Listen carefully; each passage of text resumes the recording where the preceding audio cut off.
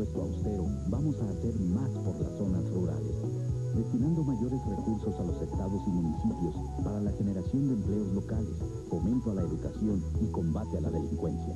Además, a los 250 municipios más pobres del país se les dará un apoyo integral de emergencia.